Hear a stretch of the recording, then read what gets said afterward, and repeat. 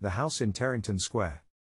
A man turned into Terrington Square from Seymour Street and walked leisurely past the policeman on point duty, bidding him a curt good night. The officer subsequently described the passer as a foreign looking gentleman with a short pointed beard. Under the light overcoat, he was apparently in evening dress, for the officer observed the shoes with the plain black bow, and the white silk muffler and the crush hat supported that view. The man crossed the road and disappeared round the corner of the railed garden that forms the center of the square. A belated hansom came jingling past, and an early newspaper cart, taking a short cut to Paddington, followed. Then the square was deserted save for the man and the policeman. The grim, oppressive houses of the square were wrapped in sleep, drawn blinds and shuttered windows and silence. The man continued his stroll until he came abreast of number 43. Here he stopped for a second, gave one swift glance up and down the thoroughfare, and mounted the three steps of the house. He fumbled a little with the key, turned it, and entered. Inside he stood for a moment, then taking a small electric lamp from his pocket he switched on the current. He did not trouble to survey the wide entrance hall, but flashed the tiny beam of light on the inside face of the door. Two thin wires and a small coil fastened to the lintel called forth no comment. One of the wires had been snapped by the opening of the door. Burglar alarm, of course, he murmured approvingly. All the windows similarly treated, and goodness knows what pitfalls waiting for the unwary. He flashed the lamp round the hall. A heavy Turkish rug at the foot of the winding staircase secured his attention. He took from his pocket a telescopic stick, extended it, and fixed it rigid. Then he walked carefully towards the rug. With his stick he lifted the corner, and what he saw evidently satisfied him, for he returned to the door, where in a recess stood a small marble statue. All his strength was required to lift this, but he staggered back with it, and rolling it on its circular base, as railway porters roll milk churns, he brought it to the edge of the rug. With a quick push, he planted it square in the center of the carpet. For a second only it stood, oscillating, then like a flash it disappeared, and where the carpet had lain was a black, gaping hole. He waited. Somewhere from the depths came a crash, and the carpet came slowly up again and filled the space. The unperturbed visitor nodded his head, as though again approving the householder's caution. I don't suppose he has learnt any new ones, he murmured regretfully, he is getting very old.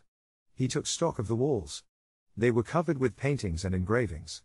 He could not have fixed the crossfire in a modern house, he continued, and taking a little run, leapt the rug and rested for a moment on the bottom stair. A suit of half armor on the first landing held him in thoughtful attention for a moment. Elizabethan body with a Spanish bayonet, he said regretfully, that doesn't look like a collector's masterpiece. He flashed the lamp up and down the silent figure that stood in menacing attitude with a raised battle axe.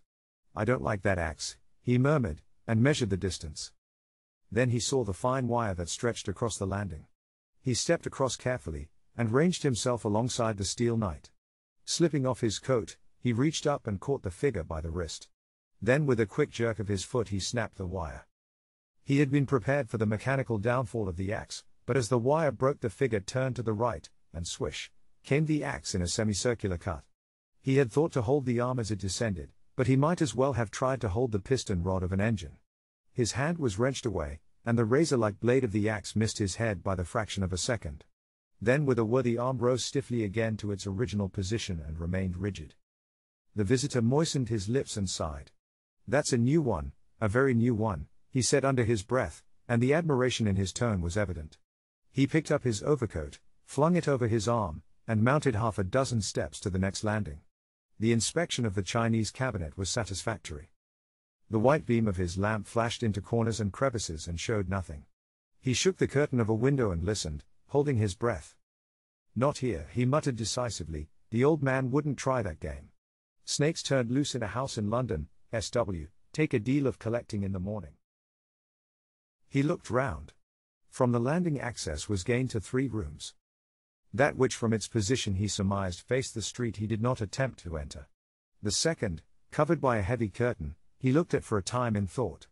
To the third he walked, and carefully swathing the door handle with his silk muffler, he turned it. The door yielded. He hesitated another moment, and jerking the door wide open, sprang backward. The interior of the room was for a second only in pitch darkness, save for the flicker of light that told of an open fireplace. Then the visitor heard a click, and the room was flooded with light. In the darkness on the landing, the man waited. Then a voice, a cracked old voice, said grumblingly, Come in. Still the man on the landing waited. Oh, come in, Jimmy, I know ye. Cautiously, the man outside stepped through the entry into the light and faced the old man, who, arrayed in a wadded dressing gown, sat in a big chair by the fire. With white face and a sneering grin, who sat with his lap full of papers, an old Mev. The visitor nodded a friendly greeting. As far as I can gather, he said deliberately, we are just above your dressing room, and if you dropped me through one of your patent traps, Reale, I should fetch up amongst your priceless china. Save for a momentary look of alarm on the old man's face at the mention of the china, he preserved an imperturbable calm, never moving his eyes from his visitor's face. Then his grin returned, and he motioned the other to a chair on the other side of the fireplace. Jimmy turned the cushion over with the point of his stick and sat down. Suspicious?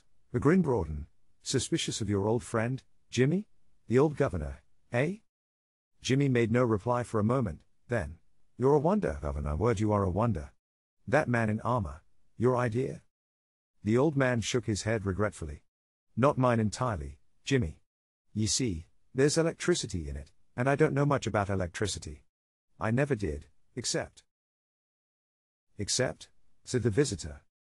Oh, that roulette board, that was my own idea, but that was magnetism, which is different to electricity, by my way of looking. Jimmy nodded. Ye got past the trap? The old man had just a glint of admiration in his eye. Yes, jumped it. The old man nodded approvingly. You always was a one for thinking things out. I've known lots of 'em who would never have thought of jumping it. Connor and that pig Massey, they'd have walked right onto it. You didn't damage anything? He demanded suddenly and fiercely. I heard something break, and I was hoping that it was you. Jimmy thought of the marble statue, and remembered that it had looked valuable. Nothing at all, he lied easily, and the old man's tense look relaxed. The pair sat on opposite sides of the fireplace, neither speaking for fully ten minutes, then Jimmy leant forward. Reale, he said quietly, how much are you worth? In no manner disturbed by this leading question, but rather indicating a lively satisfaction, the other replied instantly. Two millions and a bit over, Jimmy. I've got the figures in my head. Reckon in furniture and the things in this house at their proper value, two millions, and forty-seven thousand and forty-three pounds. Float in, Jimmy, absolute cash, the same as you might put your hand in your pocket and spend. A million and three quarters exact. He leant back in his chair with a triumphant grin and watched his visitor. Jimmy had taken a cigarette from his pocket and was lighting it, looking at the slowly burning match reflectively. A million and three quarters, he repeated calmly, is a lot of money. Old Reale chuckled softly. All made out of the confiding public, with the aid of me. O'Connor and Massey. Massey is a pig, the old man interjected spitefully. Jimmy puffed a cloud of tobacco smoke wrung with sweat and sorrow from foolish young men who backed the tiger and played high at Reale's unrivaled temple of chance, Cairo, Egypt, with branches at Alexandria, Port Said, and Suez. The figure in the wadded gown writhed in a paroxysm of silent merriment. How many men have you ruined, Reale? Jimmy. The Lord knows, the old man answered cheerfully, only three as I knows of. Two of 'em's dead, one of 'em's dying, the two that's dead left neither chick nor child, the dying one's got a daughter. Jimmy eyed him through narrowed lids. Why this solicitude for the relatives? You're not going. As he spoke, as if anticipating a question, the old man was nodding his head with feverish energy, and all the while his grin broadened. What a one you are for long words, Jimmy. You always was that's how you managed to persuade your swell pals to come and try their luck solicitude. What's that mean? Written about 'em, me? Do you? That's what I'm doing. Fretting about 'em and I'm going to make, what do you call it? You had it on the tip of your tongue a minute or two ago? Reparation? suggested Jimmy. Old Reale nodded delightedly.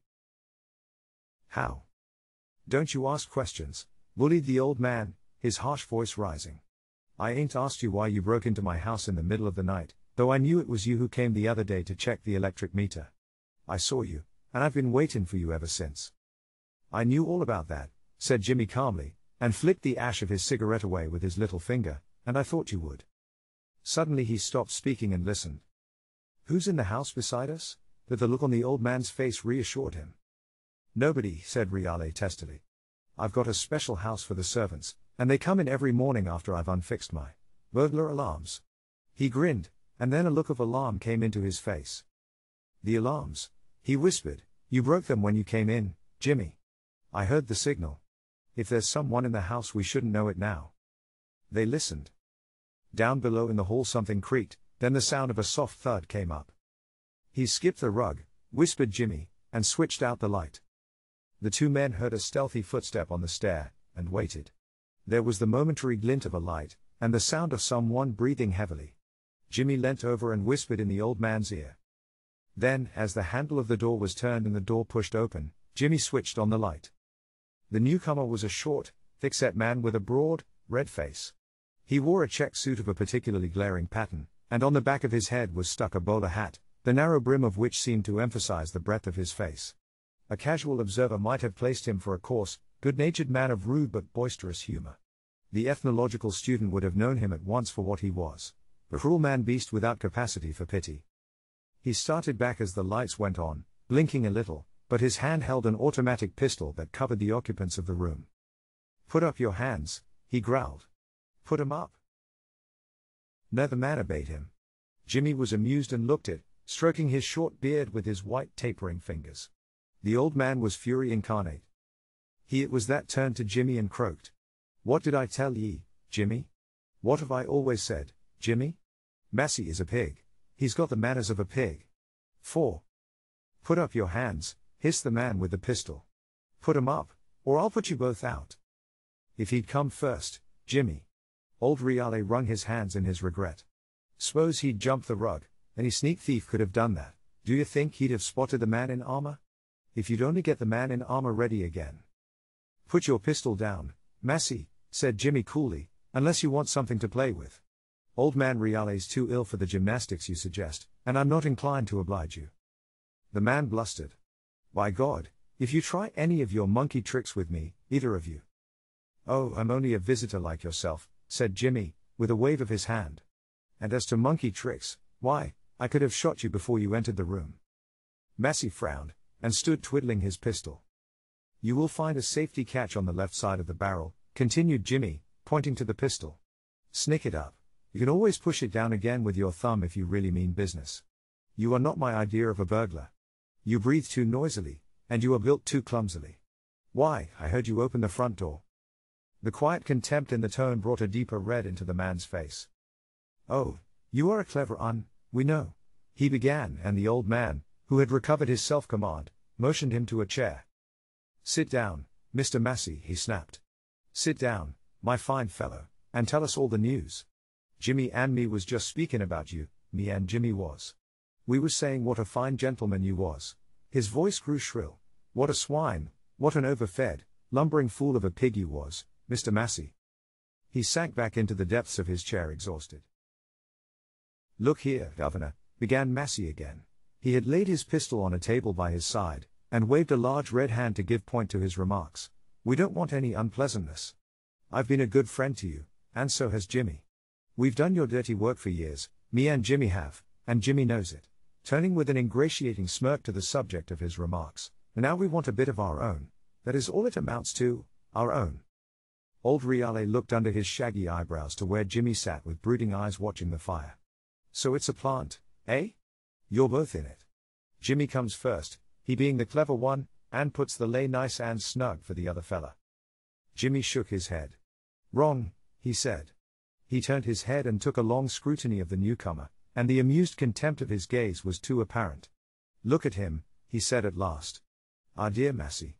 Does he look the sort of person I am likely to share confidence with? A cold passion seemed suddenly to possess him. It's a coincidence that brought us both together. He rose and walked to where Massey sat, and stared down at him. There was something in the look that sent Massey's hand wandering to his pistol. Massey, you dog, he began, then checked himself with a laugh and walked to the other end of the room.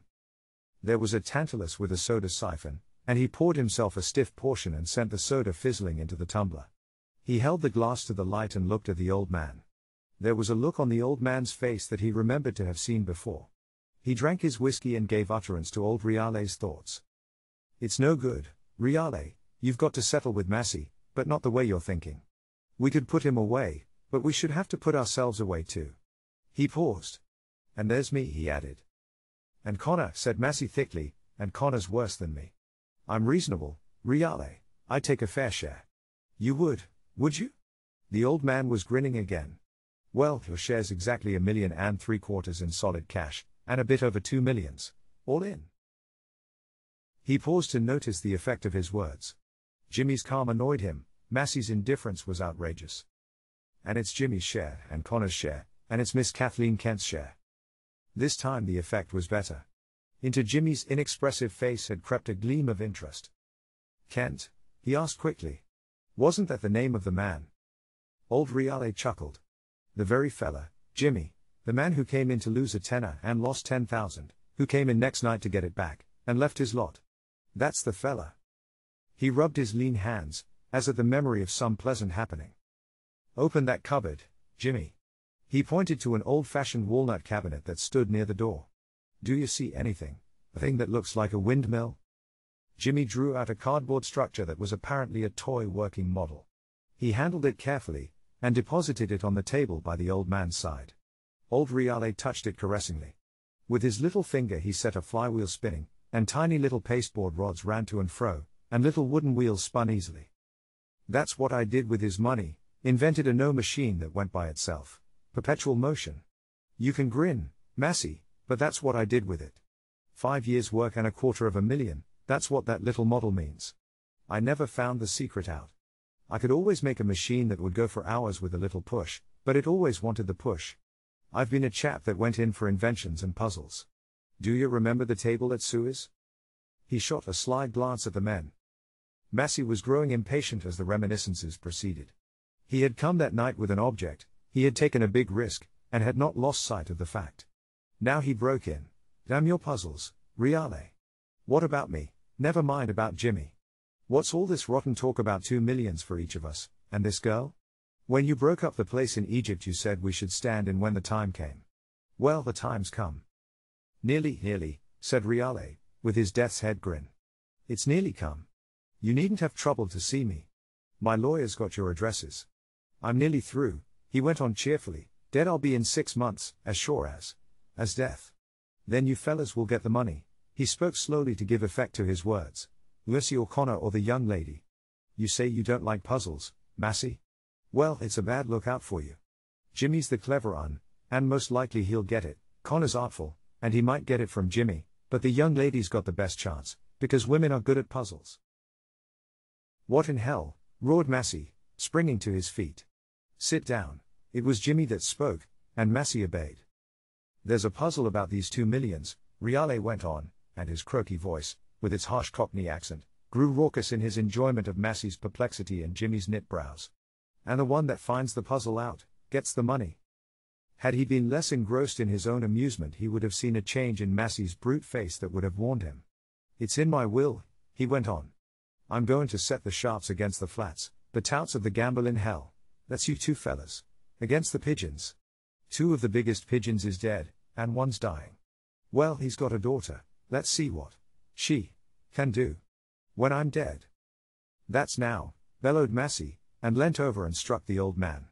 Jimmy, on his feet, saw the gush of blood and the knife in Massey's hand, and reached for his pocket. Massey's pistol covered him, and the man's face was a dreadful thing to look upon. Hands up, it's God's truth, I'll kill you if you don't. Jimmy's hands went up. He's got the money here, breathed Massey, somewhere in this house. You're mad, said the other contemptuously. Why did you hit him? He sat there making a fool of me. The murderer gave a vicious glance at the inert figure on the floor. I want something more than his puzzle talk. He asked for it. He backed to the table where the decanter stood, and drank a tumbler half filled with raw spirit. We're both in this, Jimmy, he said, still keeping his man covered. You can put down your hands, no monkey tricks. Give me your pistol. Jimmy slipped the weapon from his pocket, and handed it butt foremost to the man. Then Massey bent over the fallen man and searched his pockets. Here are the keys. You stay here, said Massey, and went out, closing the door after him. Jimmy heard the grate of the key, and knew he was a prisoner. He bent over the old man. He lay motionless. Jimmy tried the pulse, and felt a faint flutter. Through the clenched teeth he forced a little whiskey, and after a minute the old man's eyes opened. Jimmy, he whispered, then remembering, where's Massey? he asked. There was no need to inquire the whereabouts of Massey. His blundering footfalls sounded in the room above. Lookin' for money? asked the old man, and something like a smile crossed his face. Safe's up there, he whispered, and smiled again. Got the keys? Jimmy nodded. The old man's eyes wandered round the room till they rested on what looked like a switchboard. See that handle marked 7? he whispered. Jimmy nodded again. Pull it down, Jimmy boy. His voice was growing fainter. This is a new one that I read in a book. Pull it down. Why? Do as I tell you, the lips motioned, and Jimmy walked across the room and pulled over the insulated lever. As he did, there was a heavy thud overhead that shook the room, and then silence. What's that? He asked sharply. The dying man smiled. That's Massey, said the lips. Half an hour later, Jimmy left the house with a soiled slip of paper in his waistcoat pocket, on which was written the most precious verse of doggerel that the world has known. And the discovery of the two dead men in the upper chambers the next morning afforded the evening press the sensation of the year.